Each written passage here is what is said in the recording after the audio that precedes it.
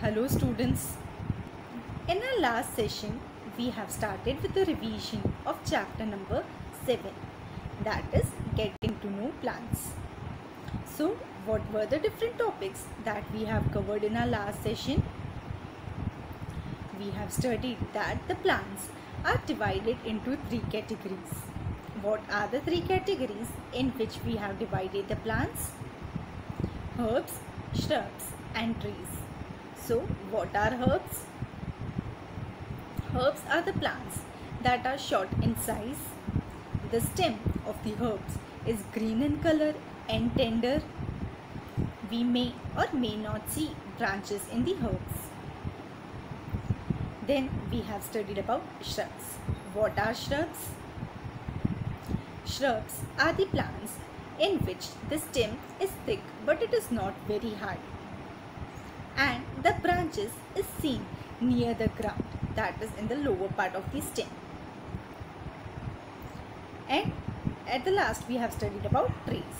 So what are trees? The plants which grow tall. The stem in the trees are hard as well as thick. And the branching is seen in the upper part of the stem. That is much above the ground. Then we have studied about creepers and climbers what are creepers? The plants in which stem is weak. Due to weak stem they cannot stand upright. Due to this they creep on the ground. Then we have studied about climbers. Climbers take the support and grow in the upward direction. Then we have studied the various parts of the plant. What are the different parts of the plant roots stem leaf flower fruits etc out of which we have started with the stem. We have studied the function of the stem. What is stem? The part of the plant that grow above the ground. The function of the stem is to conduct water and minerals from the roots to the different parts that are attached to the stem like leaf, flowers, fruits. Stem also helps to carry food that is prepared from the leaf to the different parts of the plant. So, in today's session, we will revise about the leaf. In our last session, we have studied that the plants vary from one another. All the plants are not same. So, variations can be seen in the leaf also. We have studied the leaf of the plant vary in size, shape and color. You can see in the images the different leaves of the different plants. They vary from one another. Some of the plants have a tiny leaf while some of the plants have the big leaf. Even the shape of the leaf of the plants vary from each other. In this slide, you can see the images of the different plants that possesses the leaf of the different colors. Mostly, we see the plants have the green color leaf. But there are some plants that have the leaf of different colors. Then we have studied about the structure of the leaf. What does the leaf consists of? The leaf consists of petiole, lamina, veins and midrib. Now what do you mean by petiole? What is petiole? The part of the leaf that is attached to the stem is known as a petiole. What is lamina? The broad green portion of the leaf is known as lamina. Then we have also studied about midrib. What do you mean by midrib? The prominent line that you see in the middle of the leaf is known as midrib. Now, what are veins? On both the sides of the midrib, we see the lines.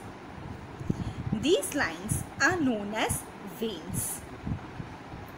and the design that is made on the leaf by the veins is known as the leaf venation. Now the venation is of the two types. What are the two types of the venation that we observe in the leaf? The two types of the venation are first is the reticulate venation and second is the parallel venation. What do you mean by reticulate venation? If the design made by the veins on the leaf is net-like on both the sides of the midrib, such type of the venation is called as the reticulate venation. What are the examples of the reticulate venation? We observe reticulate venation in the leaf like rose, tulsi, papaya, hibiscus, etc. Second is parallel venation. So what do you mean by parallel venation? If the veins are parallel to each other, such type of venation is known as parallel venation.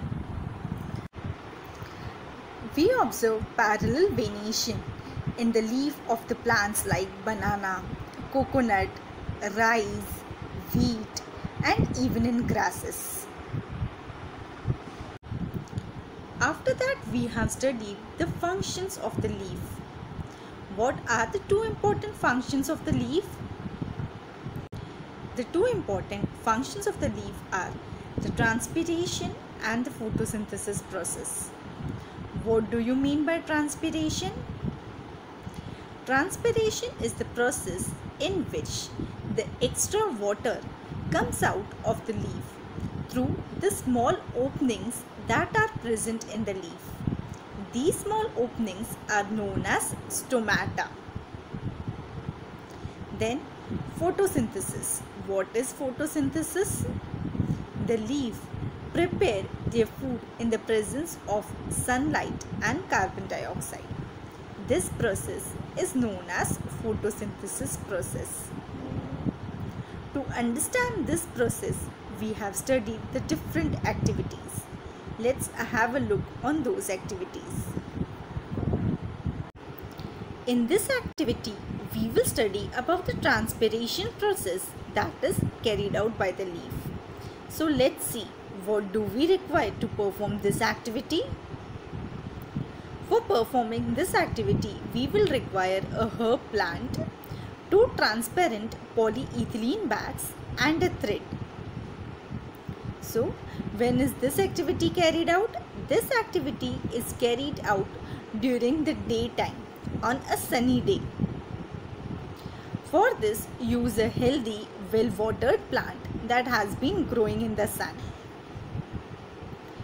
we have to use enclose the leafy branch of that plant in the polythene and tie up its mouth and keep it in the sun. So what we have to do, we have to enclose the leafy branch of a plant with a polythene bag and tie it up and keep that plant in the sun. After few hours, observe the inner surface of the cover. What do you see? Are there any droplets of the water? So you have to keep that plant in the sun. After few hours, what you will observe inside the surface of the cover? You will observe the fine droplets of the water. Now from where does this water comes? Water comes out of the leaf in the form of vapor by a process called as transpiration. So that water which we observe in the polythene bags come out from the leaf in the form of water vapor and this process is called as the transpiration. So transpiration is the process in which the extra water comes out of the leaf from the tiny openings known as the stomata. Plant releases a lot of water in the air through the transpiration process. So lot of water is released by the plant during the transpiration process. Now we will study the another activity. In this activity, we will study that the food that is prepared by the leaf is stored in the form of starch. Let's see the requirement to carry out this activity. we will require a leaf, spirit, a beaker, test tube, burner, water, a watch glass and iodine solution. Now let's see how is this activity carried out. To perform this activity, take a leaf in a test tube and pour the spirit to completely immerse the leaf. What we have to do, we have to take a test tube that is filled with the spirit. To this, we have to immerse the leaf. Now place the test tube in a beaker half filled with water. Now the test tube that contains the spirit and leaf we have to put it in the beaker that is half filled with water. Heat the beaker till all the green color from the leaf comes out into the spirit in the test tube. Now we have to heat the beaker till all the green color from the leaf comes out into the spirit solution that we have added in the test tube. After that, take out the leaf carefully and wash it with, in water. Now, as the green color from the leaf comes out, we have to take out the leaf carefully from the test tube and wash that leaf in the water. Now, place it on a watch glass and pour some iodine solution over it. What will happen if you add the iodine solution? The color will change to blue-black color. What does the blue-black color indicates? The blue-black color indicates that it contains starch. So, the food that is prepared by the leaf is stored in the form of starch. Raw potatoes show the presence of starch. So, the potatoes get the starch from their leaf and store it. Leaves prepare their food in the presence of sunlight and the green colored substance present in them. So, leaf prepare their food in the presence of sunlight and the green color pigment that is known as chlorophyll. They also use water and carbon dioxide to prepare their food. So, leaf use water and carbon dioxide to prepare their food. Oxygen is given out in the photosynthesis process. The food is prepared by the leaf ultimately gets stored in the different parts of the plant. So, the leaf prepare their food and it is stored in the different parts of the plant. The stem supplies leaf with the water. We have studied that the stem conducts water in the upward direction. So, the water that is required to prepare the food is supplied by the stem to the leaf. In today's session, we have revised about the leaf, the structure of the leaf and the different functions that are performed by the leaf. I hope you have understood this. So, based on this, you have to perform an activity. What you have to do is, you have to take the leaf of the different plants that are present in your home or in your surrounding. You have to trace those leaves by tracing under the paper and observe the venation that is shown by the leaf. And also you have to label the different parts of the leaf. So we will end our session here. In our next session, we will revise about the roots and the flowers.